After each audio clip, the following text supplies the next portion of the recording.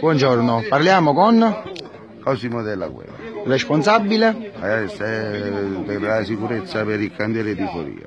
Quali sono i problemi oggi? I Che... problemi sono tanti perché da tempo che il comune doveva, già dall'Eco, Eco, Pegaso, Torre Saracena, il problema purtroppo parte dal comune che non ci ha dato un'area valida per poter esercitare e penso che qualsiasi ditta che possa venire sul territorio se non ha queste condizioni lavorative non può eh, esercitare al meglio le proprie Questo è proprie- giusto, al di là delle dietrologie, volevo chiedere, Ad oggi ci sono eh, i- le condizioni per uscire con i sempre camion? comune accordo con tutti gli operai, ci sono sempre, siamo riusciti a mandare avanti il servizio. Anche se diciamo così c'erano delle incongruenze, Incongruenze tipo quali possono essere queste incongruenze? Ah, tipo che non ci sono le docce non si lavano.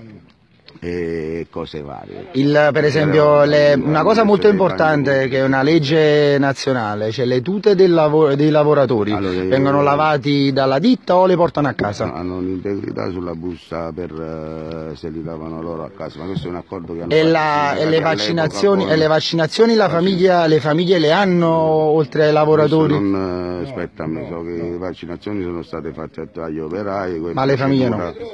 Una cosa delle... Ma sono accordi che hanno fatto i sindacati per quanto riguarda il lavaggio Quindi i sindacati hanno fatto questo tipo di accordo. per il lavaggio. Ah, perché non c'era, non c'era una ditta che non lo Io so. ancora mi fai vaccino ancora. Eh? Mi hanno dato la carta però Ah, non hanno mai questo- chiamato. Eh, sto aspettando sempre che mi chiamano per... per- Quindi lei ancora non ha i vaccini? No, Per... no, niente, neanche Ah. uno. In quest'anno. Va bene.